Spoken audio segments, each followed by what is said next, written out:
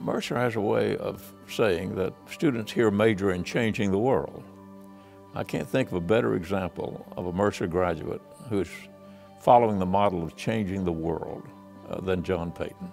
John is a study in leadership and service. That's been his life story. He was uh, president of the student body when he was a student here at Mercer. Uh, folks who went to school with him told me it was obvious he was going places. He's bright, he's winsome, he's energetic, he's positive, he's encouraging. So it was not surprising to see him when he moved to Jacksonville to become mayor of Jacksonville. If you're looking for the qualities of John Peyton, tremendous work ethic, great communication skills, terrific interpersonal skills, but probably the defining thing I saw most was his resilience. Because in the public arena, you never know when it's going to come at you. And during his term as mayor, during his two terms, some very difficult things came his way that he did not create. And he had to respond to all those. I think history is going to judge John Peyton as one of Jacksonville's great mayors. So when I see John Peyton, I see somebody who has exemplified extraordinary leadership uh, with their life and who's exemplified a commitment to a service in everything he's done.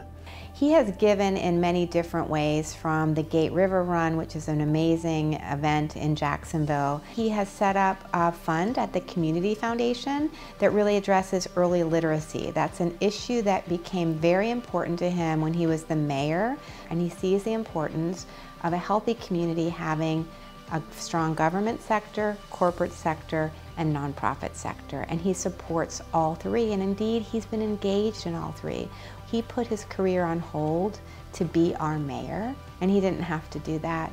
He really has a great wit about him, and I think that even in, the, in all of the stress that he went through as being a mayor during the Great Recession, he never lost that sense of humor and that ability to really, you know, not take things too seriously.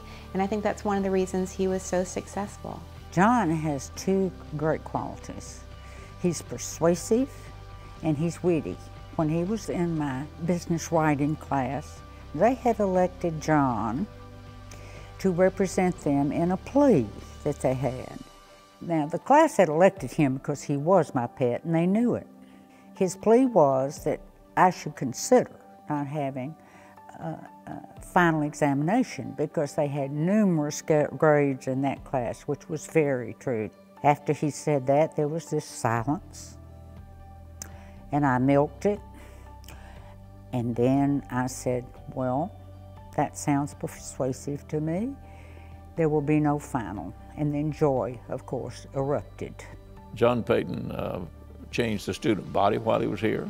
John Peyton certainly has changed Jacksonville. He will change the enterprise, which he is now uh, taking over from his father. He was born to lead, and he's led in every capacity which he's entered.